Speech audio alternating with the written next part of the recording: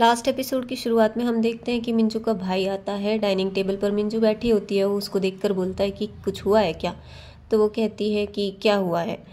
वो कहता है कि तुम पहले की तरह क्यों बिहेव कर रही हो? वो कहती है, पहले की तरह? पहले मैं कैसी थी? फिर वो उसको घूरता है और कहता है कि, क्यों तुम्हें नहीं पता तुम कैसी थी? फिर हम अगला सीन देखते हैं जहाँ पर मिंजू स्कूल में जा रही होती है। स्कूल जाते हुए उसको इंग्यू दिखता है और वो हाय बोलता है, लेकिन मिंजू उसको बिल्कुल रिप्लाई ना करते हुए सीधा अपनी क्लास की तरफ़ बढ़ती है। क्लास में जाके वो देखती है कि सियोन की सीट खाली है। फिर वो इधर उधर देख कर अपनी सीट पर जाकर बैठ जाती है। इंग्यू भी उसके पीछे पीछे आता है और बैठता है। फिर मिंजू की क्लासमेट्स कुछ स्टार्स के बारे में बातें कर रही होती हैं लेकिन वो देखती हैं कि मिंजू बिल्कुल शांत है तो उनसे पूछती है कि कुछ हुआ है क्या? तो मिंजू कहती है नहीं कुछ नहीं हुआ। तो उनमें से एक कहती है कि तुम पुराने जैसे क्यों लग, लग रही हो? तो मिंजू कहती है पुराने जैसे? पुराने में मैं कैसी थी? तो उसकी क्लासमेट कहती है तो पुराने में तुम बिल्कुल भी फ्रेंडली नहीं थी, अजीब सी थी। तुमसे बात करने का मन नहीं करता था, लेकिन अभी तुम जैसी हो वैसी ही रहना, पुराने जैसी मत होना। हमें तुम ऐसी ही पसंद हो इतने में क्लास टीचर आ जाती है और सभी साइलेंट हो जाते हैं। फिर मिंजू भी साइलेंट होकर सोचती है और कहती है कि ठीक है, अब मैं पुराने जैसे बिल्कुल नहीं होने वाली, क्योंकि मुझे भी वो पसंद नहीं थी। फिर हम देखते हैं कि हंजुनी एक जगह पर कैद है जहाँ से वो मिंजू को देख रही है और मिंजू रो रही है।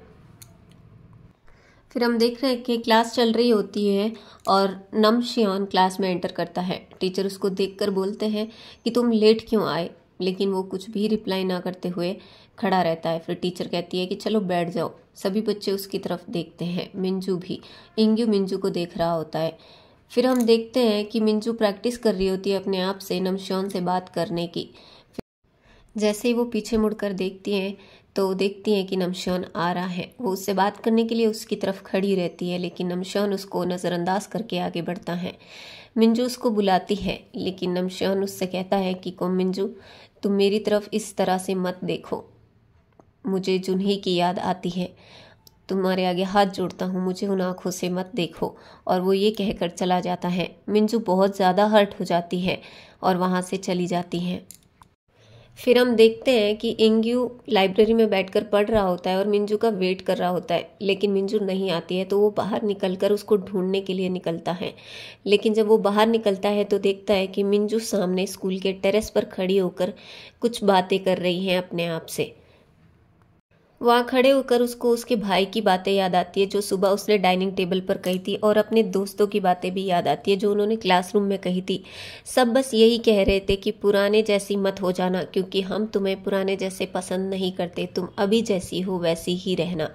तो मिंजू हंजुनी से कहती है कि मुझे पता है कि तुम मुझे देख रही हो और सुन रही हो, लेकिन मैं तुम्हें बस इतना कहना चाहती हूँ कि मुझे यहाँ पर कोई भी पसंद नहीं करता। मेरा यहाँ पर रहने का कोई मतलब नहीं है। मैं अपने आप को ख़त्म कर दूँगी। हंजुनी कहती है कि नहीं, ये सब मेरी गलती है। मैं तुम्हारी ज़िंदगी में दोबारा कभी वापस नहीं आऊँगी, लेकिन तुम ऐसा मत करो। तो मिंजू कहती है कि इसमें तुम्हारी कोई गलती नहीं है। तुम्हारी वजह से तो मैं बहुत फ़ेमस हो चुकी हूँ। अब लोग मुझे पसंद भी करने लगे हैं, लेकिन अगर एक बार तुम चली गई तो मुझे दोबारा कोई भी पसंद नहीं करेगा। और वैसे भी तुमने कहा था ना कि थर्टीन अक्टूबर को वैसे भी मुझे मार दिया जाएगा। तो मैं मरूं सुसाइड करूँ या कोई मुझे मारे, क्या फ़र्क पड़ता है? लेकिन हाँ अगर मैं अपने आप को मार दूँगी तो वो लोग कहेंगे कि ये तो ऐसी ही थी, इसको तो वैसे भी मरना ही था। लेकिन अगर मेरे को कोई मार देता है तो शायद ये लोग मुझे याद करेंगे और कहेंगे कि मिंजू के साथ ऐसा नहीं होना चाहिए था। तो अगर मरना ही है तो मैं सुसाइड नहीं करूँगी, मैं उस मर्डरर के पास जाऊँगी और अपने आप को ख़त्म करवा दूँगी। हंजनी ये सब सुनकर शौक हो जाती है और वो कहती है कि नहीं, सब कुछ ठीक हो जाएगा, सब कुछ पहले जैसा हो जाएगा, तुम ऐसा मत करो। और फिर उसको याद आता है, ओछंग ने जो कहा था कि ये सब कुछ तुम्हारी वजह से हो रहा है और वो अपने आप को कोसने लगती है। इतने में इंग्यू दूर खड़ा होकर उसकी लिपसिंग को पढ़ता है और समझ जाता है कि वो किस बारे में बात कर रही है और वो भागता है उसकी तरफ़ उसको बचाने के लिए। लेकिन जब वो टेरेस पर पहुँचता है तो देखता है कि मिंजू वहाँ पर नहीं है। वो धीमे धीमे कदमों से चलकर नीचे की तरफ़ देखता है, लेकिन नीचे भी वो नहीं होती है। फिर हम देखते हैं कि मिंजू स्कूल से बाहर निकल रही होती है। उसके सामने ओ खड़ा होता है। मिंजू उसकी तरफ़ देखती है और उसके सामने से निकल जाती है। ओ ओचंग समझ जाता है कि वो उसको किस तरफ़ जाने का इशारा कर रही है। फिर हम देखते हैं कि इंग्यू स्योन के पास जाता है। और स्योन कहता है कि क्या हुआ? तो वो कहता है कि मैंने मिंजू को टेरेस पर देखा था और वो कुछ बातें कर रही थी अपने आप से हंजुनी के बारे में। तो वो पूछता है कि अच्छा और क्या कहा? तो वो कहता है कि मुझे नहीं पता कि वो किस बारे में बात कर रही थी, लेकिन हाँ वो कुछ मर्डर के बारे में बात कर रही थी और फिर वो कहता है कि तुम्हें पता ही है कि हम हांजुनी ने हमसे कहा था कि थर्टीन अक्टूबर को मिंजू की डेथ हो जाएगी। फिर वो दोनों भागते हैं उसको ढूँढने के लिए। नमश्योन उसके घर पर जाकर ढूंढता है, लेकिन घर पर भी वो नहीं मिलती है और इंग्यू उसकी दुकान पर जाकर ढूंढता है। दुकान पर वो देखता है कि वहाँ पर मिंजू नहीं है तो वो उसके अंकल से कहता है कि अगर मिंजू आ जाए तो आप सबसे पहले मुझे फ़ोन करेंगे और उसको यहीं पर बिठाना। फिर वो दोनों भागते हैं इधर उधर लेकिन मिंजू उनको कहीं पर नहीं मिलती है। फिर इंग्यू को याद आता है वो एक्सीडेंट वाली जगह जहाँ पर उसको लगता है कि हो सकता है कि मिंजू वहाँ पर हो। दूसरी तरफ़ हम देखते हैं कि मिंजू अकेले आगे बढ़ रही है और उचंग उसके पीछे पीछे आ रहा है और वो लोग उसी बिल्डिंग के पास आकर खड़े हो जाते हैं जहाँ पर मिंग्यू का एक्सीडेंट हुआ था। फिर ओछंग उसके आगे निकल जाता है।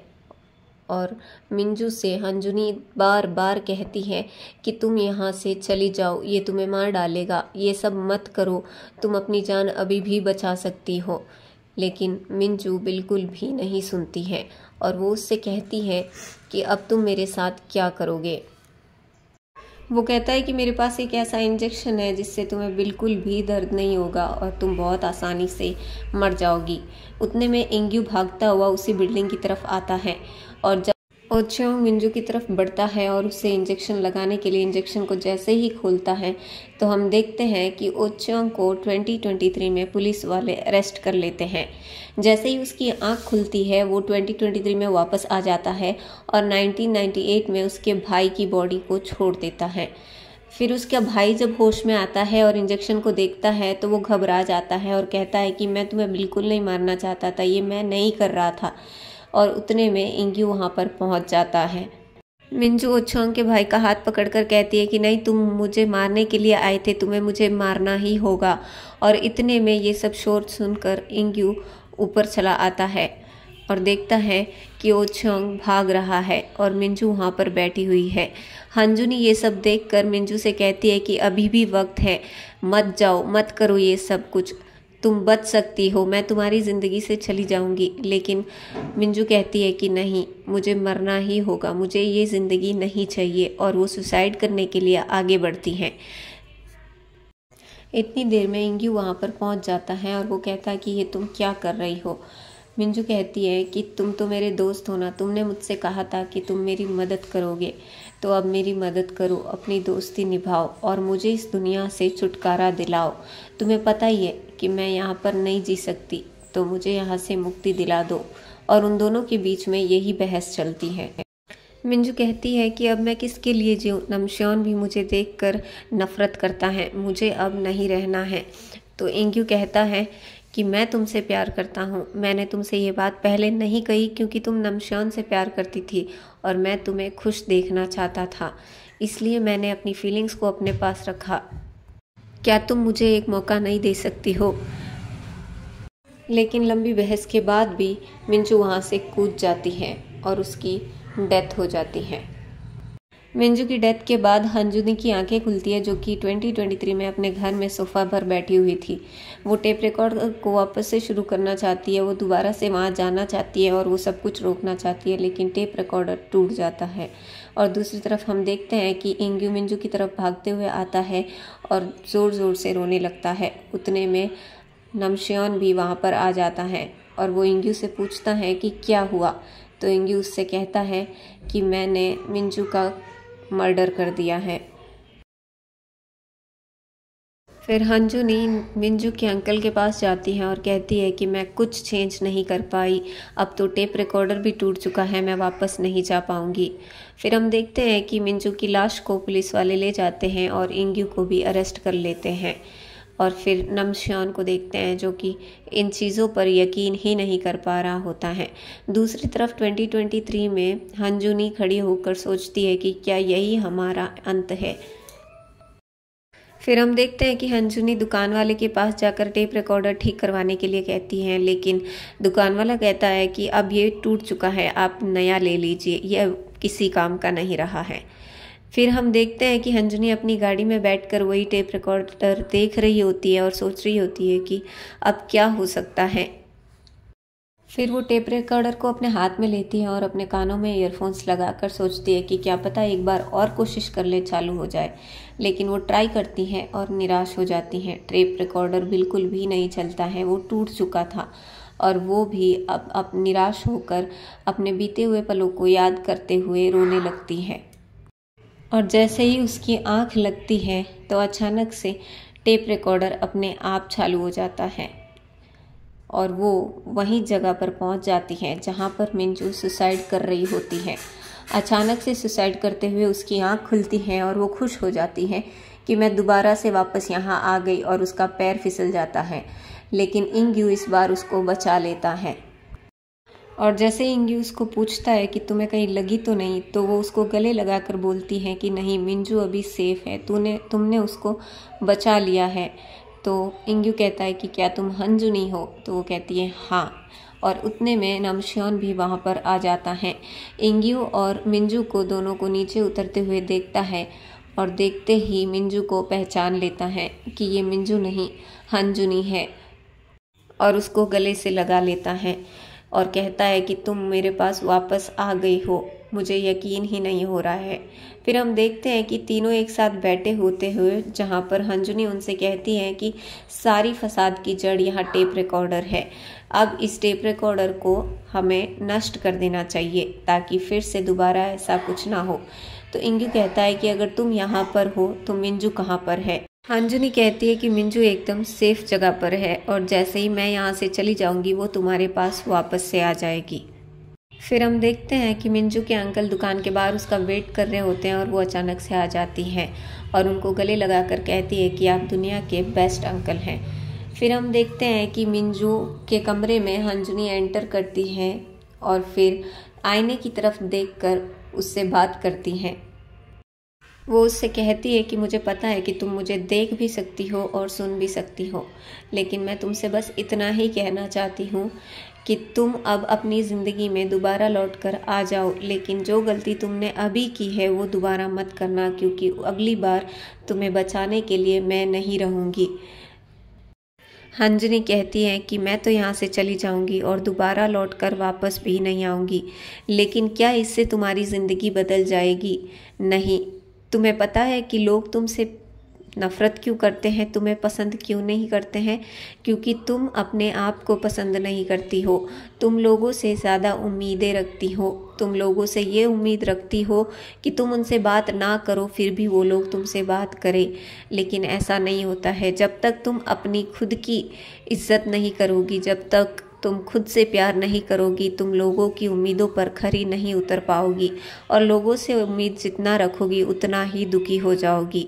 तो अब जब तुम वापस से अपनी ज़िंदगी में आओ तो किसी से कोई उम्मीद मत रखना।